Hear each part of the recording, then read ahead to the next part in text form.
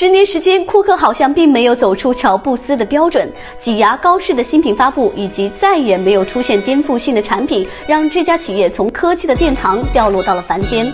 有人说库克是一个商人，当下的苹果眼中只有利益，甚至也有用户认为，库克任职苹果 CEO 的十年时间里，苹果的产品几乎没有超越乔布斯。无论是新一代的 iPhone，还是 iPad，亦或者后来的 Apple Watch，这些东西更像是产品的迭代升级。但但不可否认的是，十年时间，库克将这家企业从两千亿美元的市值做到了二点五万亿市值。在全球最有价值公司的名单里，苹果依旧稳坐在金字塔顶端。在全球手机产业链当中，苹果一家还是会拿走百分之六十以上的利润，并且没有因为谁成为 CEO 这个事实就发生改变。九月十五日，一年一度的苹果秋季发布会如约而至。新款手机 iPhone 十三系列毫无悬念的将在发布会上发布。与 iPhone 十三系列在一起的还有 iPhone Watch Series 七以及 iPod 三。对于新发布的 iPhone 十三系列，其外观型号以及基本配置也都早已在市场传开。按照以往的惯例，大概率基本信息都不会出现多大误差。按照市场透露出来的消息，iPhone 十三在外观上基本会延续 iPhone 十二的风格，并且也会分四个型号，分别为 iPhone 十三、iPhone 十三 Pro、iPhone 十三 Pro Max 和 iPhone 十三 mini。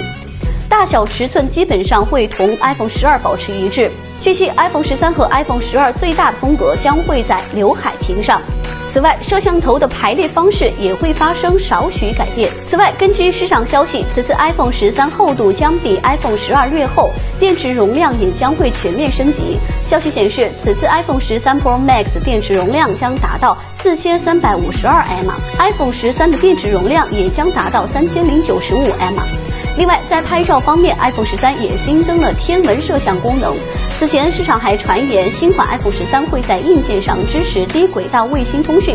如果苹果激活软件功能，则当 iPhone 十三使用者不在 4G、5G 覆盖范围时，也能通过卫星进行通话和收发信息。当然，对于市场传闻的新款 iPhone 系列，市场反应则并不强烈。有媒体曾发布了一份微博投票，一共有三十三万人投票，结果显示有九万人选择了购买，有七点三万人选择了不买，还有六点八万人选择了等出来看看。另外还有八点六万人表示没钱。根据此项结果，iPhone 十三给市场的惊喜似乎并不够。有网友表示，摄像头真的一点儿也不好看，还不如提高一下网速。还有网友表示，耗电比较快，网速也比较慢，还不如华为好用。对于网友的抱怨，侃见财经总结了一下，大多都在抱怨续航能力不足以及信号较差的问题。实际上，iPhone 十三也将优化上述问题。但是对于 iPhone 的外观，似乎用户都已经出现了疲态。那么，如果说此次发布会与以往唯一不同的地方，那就可能是即将要发布的 AR 产品。消息称，此次苹果的邀请函比往年多了一个 AR 功能，你只要点开苹果邀请函中的 logo，便会自动触发 AR 混合现实功能，可以在现实场景中悬浮苹果标志和发布会时间。据悉，这也是苹果首次在邀请函上使用 AR 技术。当然，这一切并非空穴来风。根据苹果一贯的保密原则，实际上苹果在2015年就开始了在 AR 领域的布局。有消息称，库克在退休前会开发出最后一个新品种 AR 眼镜。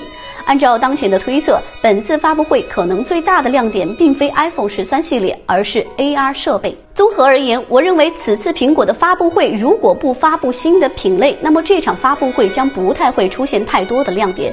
但是不可否认，库克依旧是一个称职的 CEO。